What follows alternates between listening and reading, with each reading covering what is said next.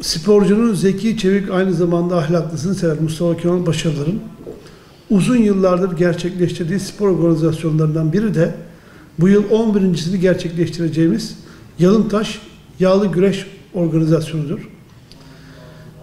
Mustafa Kemal Paşa'da yağlı güreşe, bu ata sporuna özel önem veren özel bir mahallemiz var.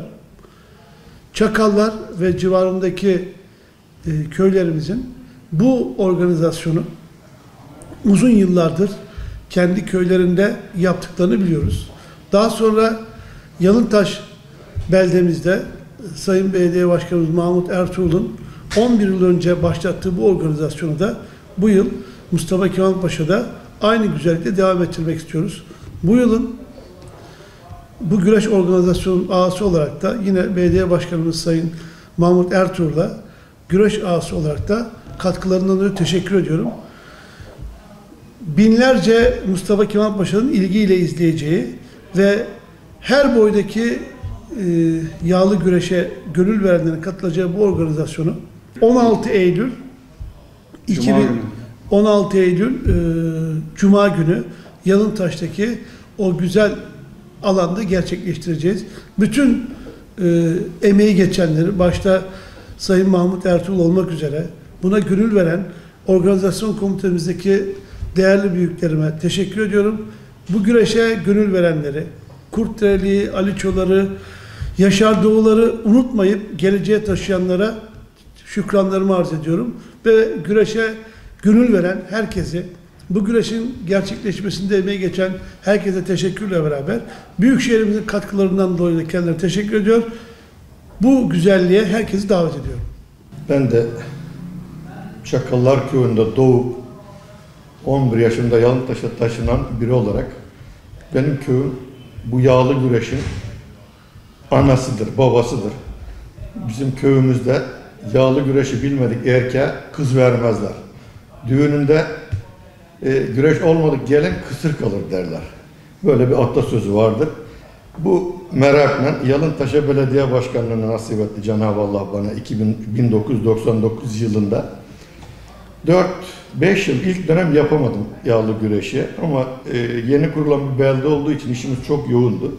2005 yılında Recep müdürüm okul müdürümdü. Birlikte istişare ettik. Biz bu işi yaparız dedik. Bir giriştik. 11. yılını yapacağız Allah nasip ederse. Tevfik abim vardı. Rahmetli Tevfik iken mahalle muhtarım. Birlikte 10 yıl birlikte yaptık. 3 yılında güreş ağlı olarak yapıyor. Sağ olsun 2014 yılında da belediye başkanımız abi sen bunun ağlını devam et dedi. Bu yılda Allah nasip etti ağlını yapacağız. Ama gerçekten yağlı güreş güzel bir atasporudur. Güzel güreştir. Biz bunu severek yapıyoruz.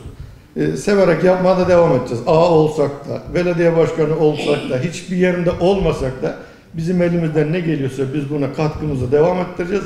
Ve Çakallar köylülerin hepsi benim kadar bu işe katkı sunacaktır, katkı verecektir. Ben bu duygularla belediye başkanıma çok teşekkür ediyorum. Bana bu 2015 yılı, 2016 yılı ağlığını da layık gördü, takdir etti bana. Teşekkür ediyorum. Recep müdürüme 10 yıldır, 11 yıl olacak Allah nasip ederse hep yanımda. Rahmetli Tevfik abim Allah nur içinde yatlasın. Hiç yanımızdan ayrılmadı. Esas bu işin motoru oydu. Hep o çekti bu işi. Onu da bir kere rahmetle anıyorum. Allah rahmet eylesin.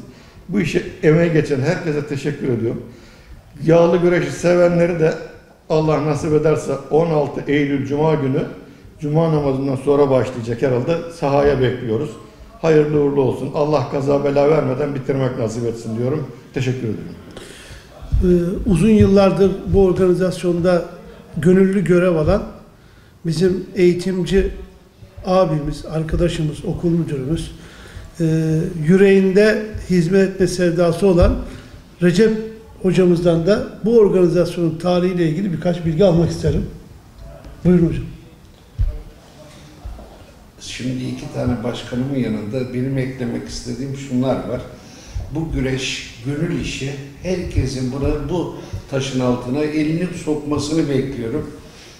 Hani çalışmalarımız çok mükemmel. Şu an Çakallar Derneği'ne ben gidiyorum bütün güreşlere. ve her güreşte de derece alıyoruz. Hani maddi imkansızlıklarımız var. Yani bu desteği de başkanım bize sunacağına inanıyorum. Teşekkür ederim. Başka bir şey diyeceğim yok. Tamam. Recep Bey ruhundaki o aşkı, şevki Mahmut Bey ile birleştirip bugünlere kadar getirdiler.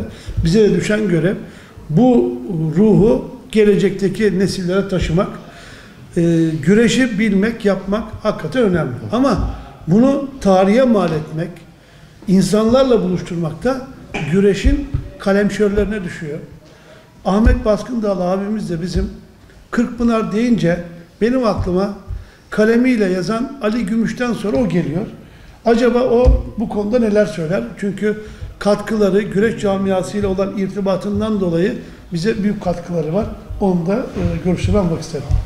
Osmanlı'nın, Alperenlerin torunları olarak bize yadigar kalmış olan bu atasporu, yağlı pelvan güreşleri dualı spordur, salavatlı spordur.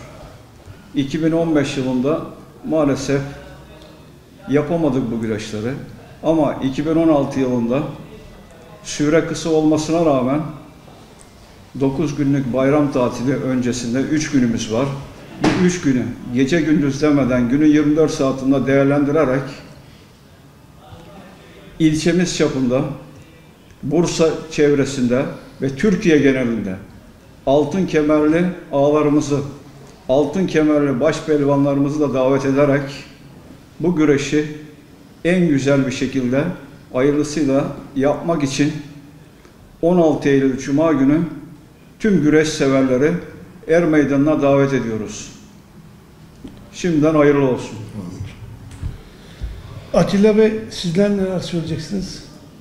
Ben de 11.sini gerçekleştireceğimiz yağlı güreşlerin taş yağlı güreşlerimize öncelikle ilçemize ve ülkemize hayırlı olması temennisiyle tüm ilçe halkı ve e, civar illerden ve ilçeden gelecek misafirlerimizi ağırlamanın e, gururunu yaşayacağız.